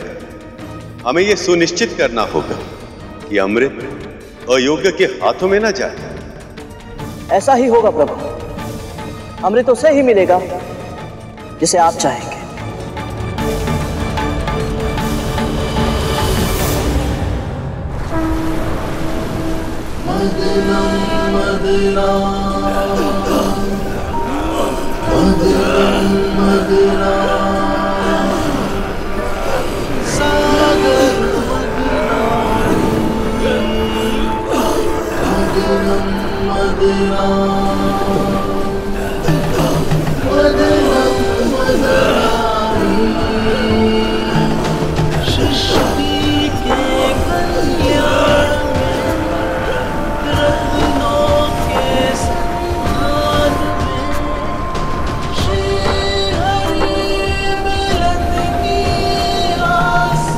देवताओं, पूरा बल लगा दो। असुरो, रक्त का एक एक कण छोड़ दो। क्योंकि अब निकलेगा अमृत।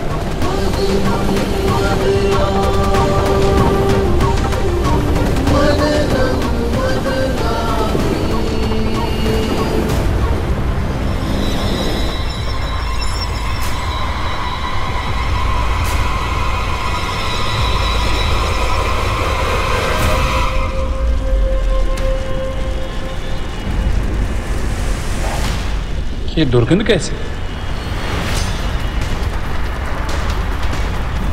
ये कैसी दुर्गंध है देवराज?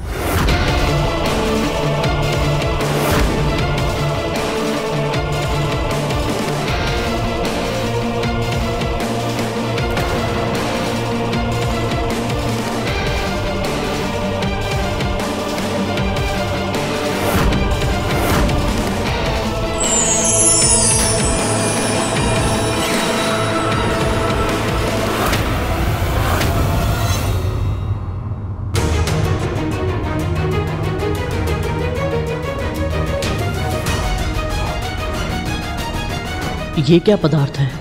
ये क्या लीला है प्रभु? इस पर तो केवल हम असुरों का ही अधिकार होगा।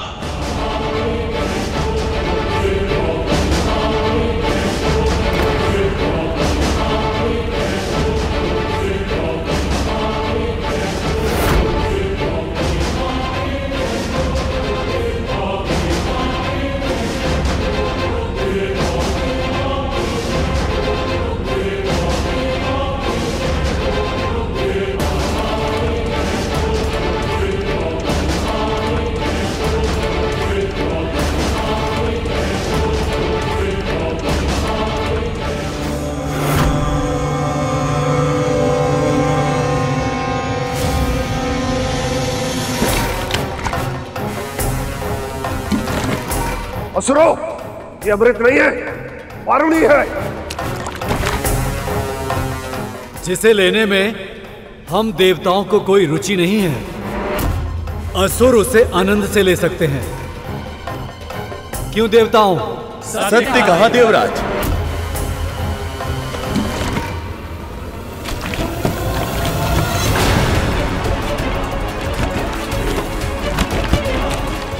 देखिए प्रभु देवताओं ने अपनी सूझबूझ से इस समस्या को टाल दिया। आपने सही कहा, लक्ष्मी। ये उनके सात्विक गुण है। किंतु असुर अपने तांत्रिक अवगुण के कारण समस्या को स्वयं ही निमंत्रण दे रहे हैं।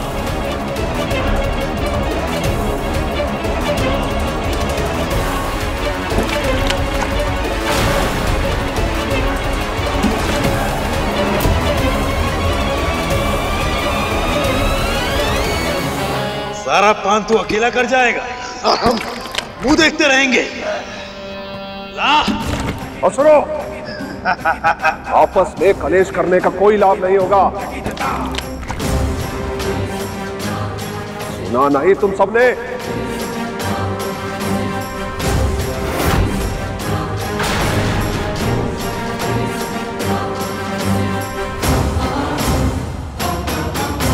महाराज बलि का भी आदेश नहीं मान रहे। ये वस्तु क्या है? प्रभु, ये कौन सी वस्तु है जिसने असुरों को भी उन्मत्त कर दिया है? ये वारुणी है, गरुड़। मदिरा संसार के सबसे आकर्षक सबसे नशीले द्रवों अर्थात, पेय पदार्थों में से एक है यह। व्यक्ति के मन की सभी दुविधाओं, सारी हिचक को दूर करता है ये संसार के सभी कष्टों और कठिनाइयों को भुला देता है। जो भी इसका पान करता है उसे परम आनंद की अनुभूति कराता है ये द्रव्य। प्रभु यदि ये द्रव्य इतना आकर्षक है तो फिर देवताओं ने इसकी एक भी बूंद पाने में तनिक भी रुचि क्यों नहीं ली? ऐसा इसलिए शेष क्योंकि एक बार जिसने भक्ति के आनंद का आभास किया हो उसे परम आनंद के लिए। मदिरा जैसे इंद्रियों को शिथिल करने वाले और विवेक का नाश करने वाले मादक पदार्थों की आवश्यकता नहीं होती। संसार में ऐसा भी कुछ है जो असुरों को अमृत में बुला दे? ये तो मैं सोच भी नहीं सकता था माँ। मदिरा के अतिरिक्त एक और ऐसी मादक वस्तु है जिसे देखते ही दानवों के साथ साथ देव भी अपना सुदबुद खो जाते हैं। जो देवताओं को भी अपने प्रभाव में ले ले वो वस्तु तो मदिरा से भी अधिक मादक हुई माँ। मदिरा से भी अधिक मद भरी ऐसी कौन सी वस्तु हो सकती है माँ? प्रभु इस विषय में आपसे अधिक कौन अच्छे से समझा पाएगा? क्योंकि आने वाले समय में आप मोहिनी अवतार धारण करने वाले हैं। वो वस्तु है। स्त्री की आँखें।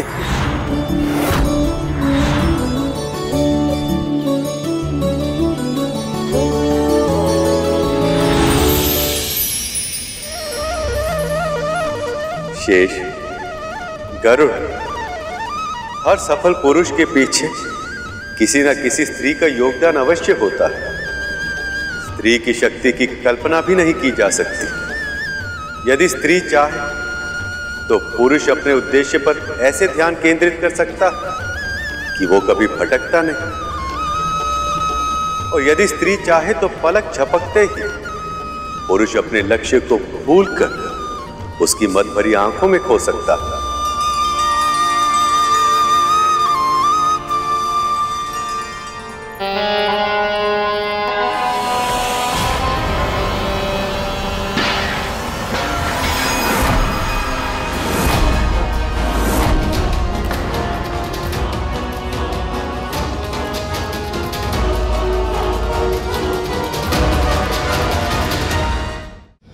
मुझे बजरांग तुम यहाँ पर किस लिए आए हो? हाँ?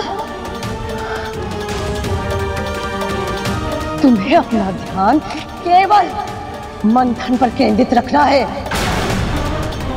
अमृत ही तुम्हारा एकमात्र उद्देश्य होना चाहिए, राहुल। ये मदिरा? ये मदिरा वो जाल है जो तुम्हें अपने लक्ष्य से भटकाएगा।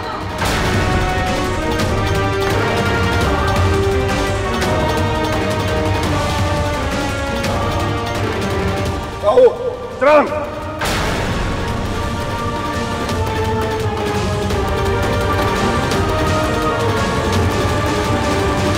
जब अमृत प्रकट होगा, तुम दोनों केवल उसे देखोगे।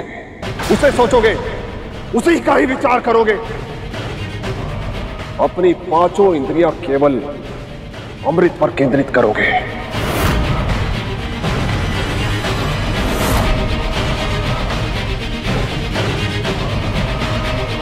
यदि तुम इस योजना में असफल हुए तो हमारी योजना भी असफल हो जाएगी। स्मरण रखना।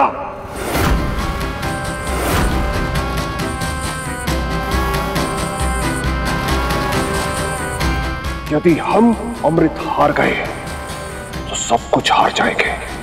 अपनी महत्वाकांक्षा, अपना स्वप्न, अपना साम्राज्य सब कुछ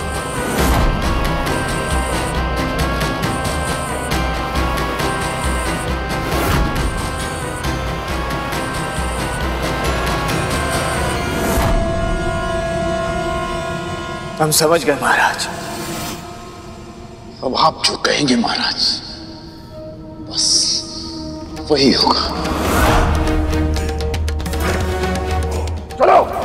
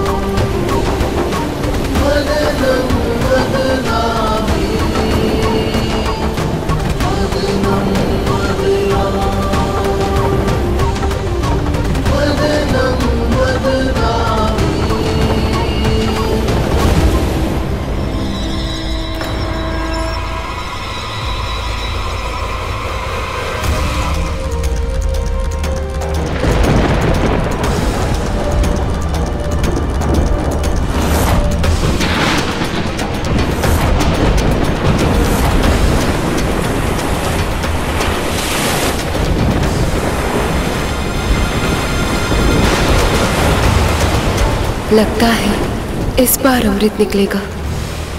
समृद्ध पर मेरे पुत्रों का ही हक है, और उसे पाने से मेरे पुत्रों को विष्णु भी नहीं रोक पाएगा।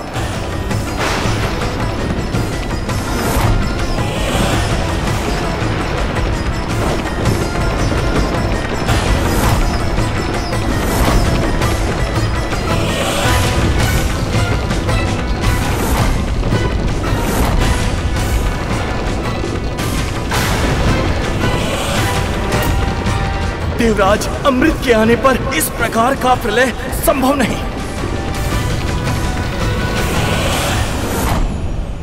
महाराज इसका तेज असहनीय है। क्या हो सकता है?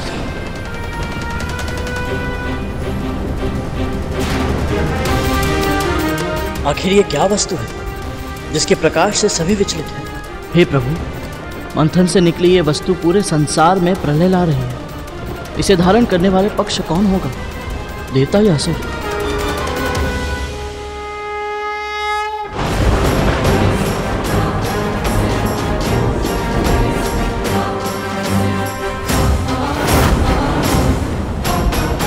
हे प्रभु अब इस समस्या का निवारण कैसे करें? महाराज इस इस नए संकट से कैसे बचे? कोई सुझाव?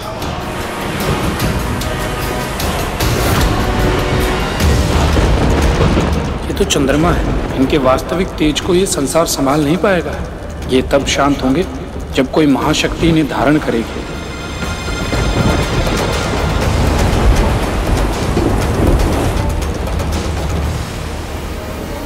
जब जब इस संसार पर विकट समस्या का निर्माण हुआ, तब तब एक वही जिन्होंने हमारी रक्षा की।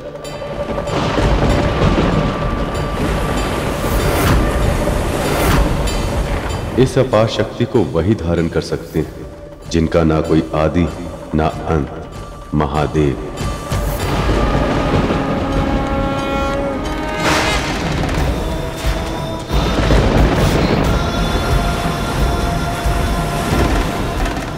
महादेव, आइए, और हमारी प्रार्थना स्वीकार कर अपनी शोभा बढ़ाइए।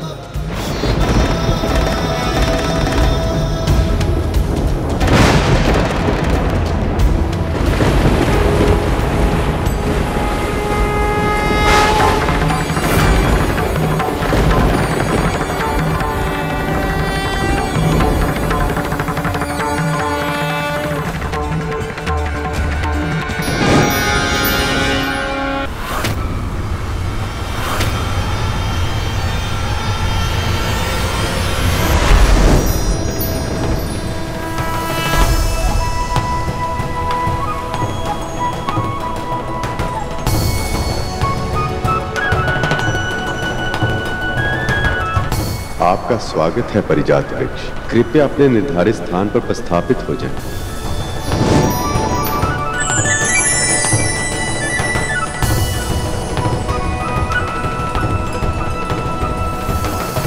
शक्ति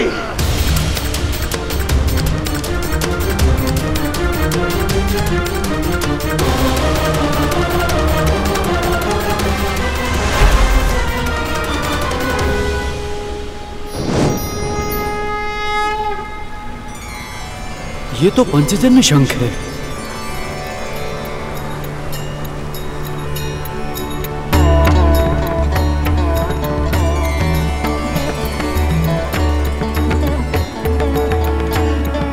यदि देव और असुर उचित समझे तो मैं ये शंख प्रभु विष्णु को दोनों पक्षों की ओर से भेंट देना चाहता हूँ।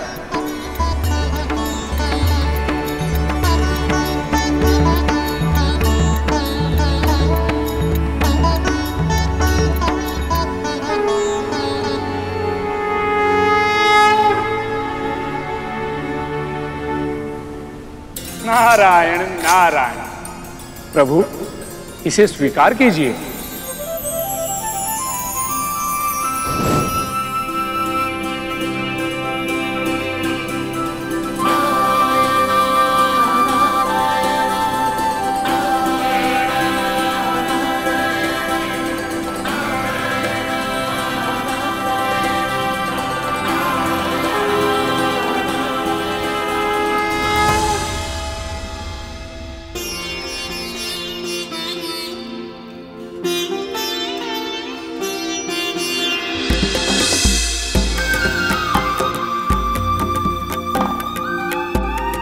लक्ष्मी माँ की मूर्ति कितनी सुंदर दिख रही है।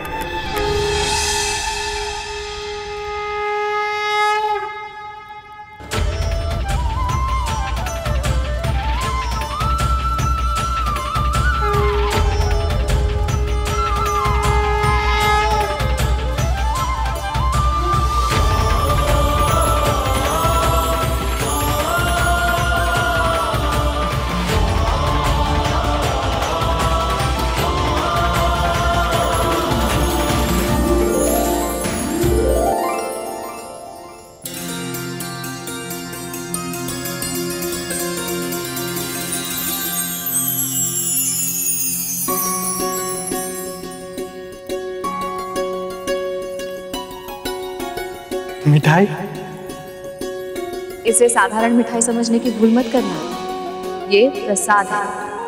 इसका एक एक कण पवित्र है। अपना सौभाग्य समझकर इसे ग्रहण करो।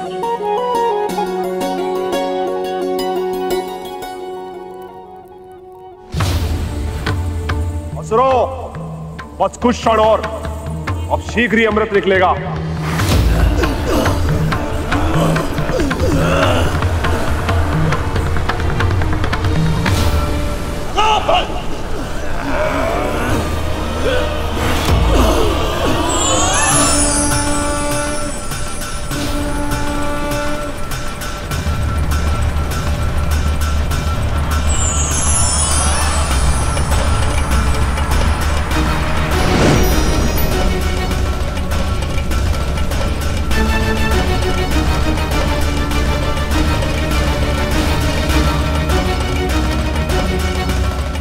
देवी तारा और रूमी। ये अप्सराओं का त्रेता युग में बहुत ही महत्वपूर्ण योगदान होगा। रूपवती कन्याओं तुम्हारा नाम क्या है? तारा। रोमी। बहुत ही सुंदर। तुम में से एक चलोगी मेरे साथ। और दूसरी मेरे साथ। तुम दोनों ने सोच भी कैसे लिया कि मदिरा की तरह हम देवता इन दोनों पर अधिकार इतनी सरलता से छोड़ देंगे। इन पर तो केवल हमारा ही अधिकार है। ऐसे कैसे तुम्हारे साथ जाएगी? मेरे साथ जाएगी वो। दोनों पक्षों में से कोई भी इन स्त्रियों पर अधिकार नहीं जता सकता।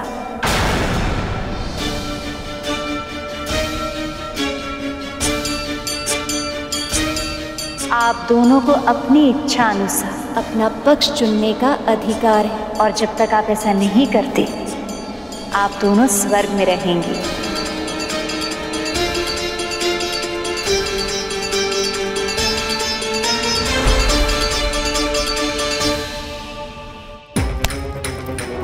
बड़ा आनंद आ रहा है ना दोनों को प्रसाद ग्रहण करने आने दो, कर। ऐसा दंड दूँगा, ऐसा दंड दूँगा कि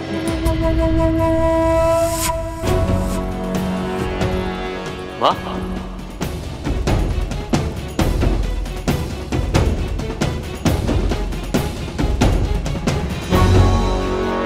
माँ आपका मुख तो एकदम साफ़ हो गया।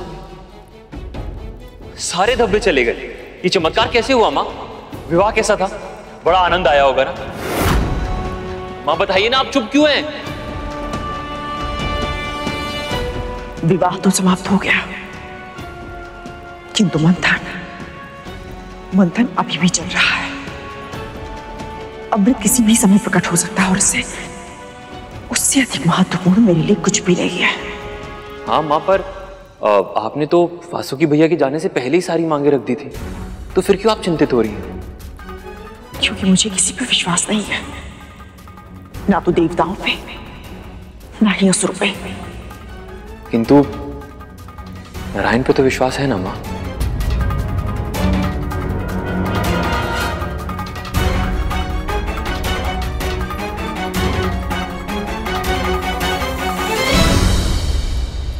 माँ विचलित है और दासी माँ कुछ अधिक ही प्रसन्न। न जाने क्यों मुझे लग रहा है कि इसका कारण भी वो गरुड़ी है। बस एक बार अमृत मिल जाए मुझे, फिर सबसे पहले गरुड़ का अस्तित्व ही मिटा दूँगा मैं।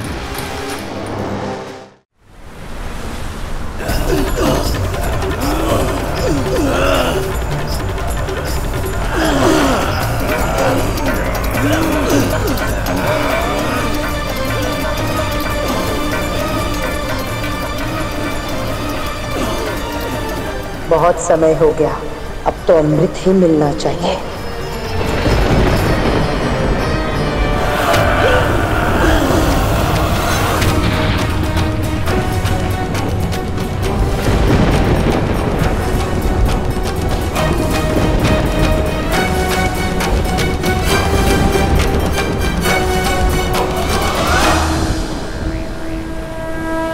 इस मंथन का समापन आपसे ही कृपया अपने आगमन से हमें कृतार्थ करें।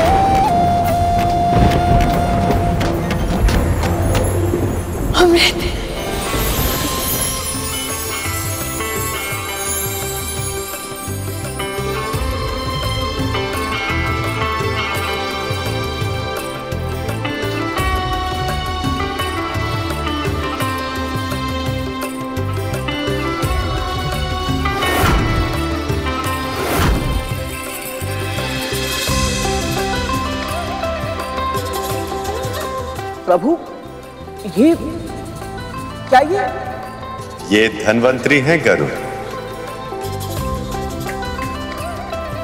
आरोग्य के देवता और औषधियों के ज्ञाता। अनंत काल से लेकर अब तक अमृत की रक्षा यही कर रहे हैं। इसका अर्थ यह है प्रभु कि इस कलश में अमृत है।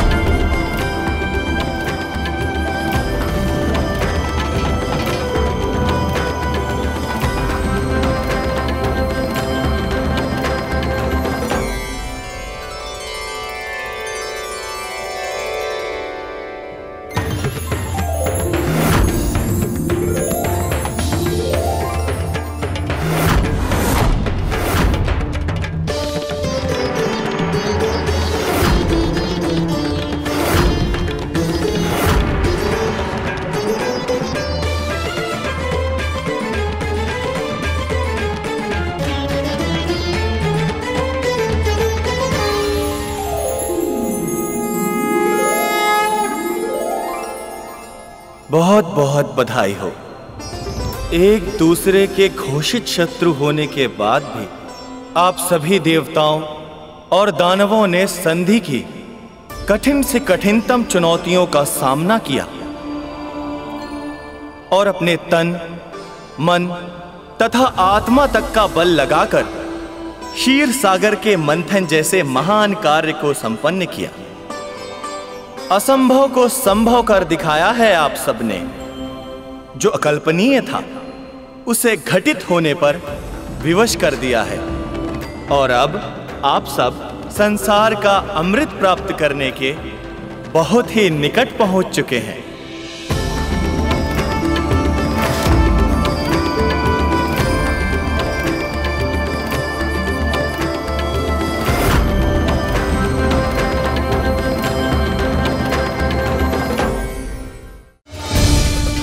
यही है संसार की सबसे दुर्लभ वस्तु, जो प्रकृति के अटल नियम मृत्यु को भी सदा सदा के लिए टाल देती है। रुकिए।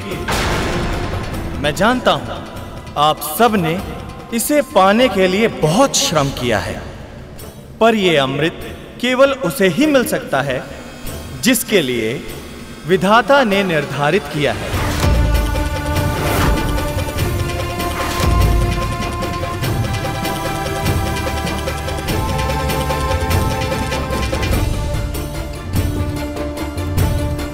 तो अब हम अवश्य ही परम पिता परमात्मा के निर्णय की प्रतीक्षा करेंगे, देव।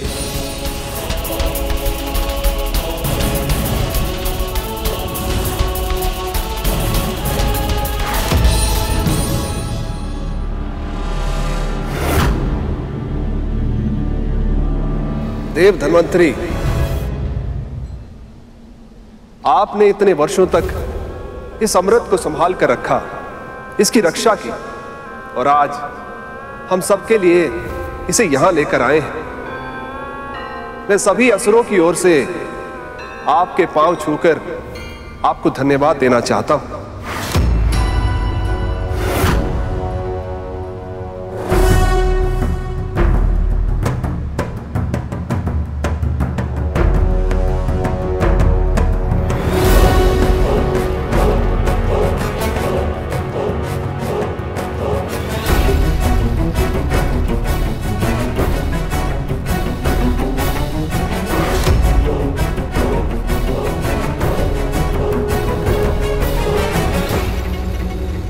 यदि असुर इस नियम को तोड़ने का प्रयत्न करते हैं तो इसका दंड उन्हें भोगना होगा।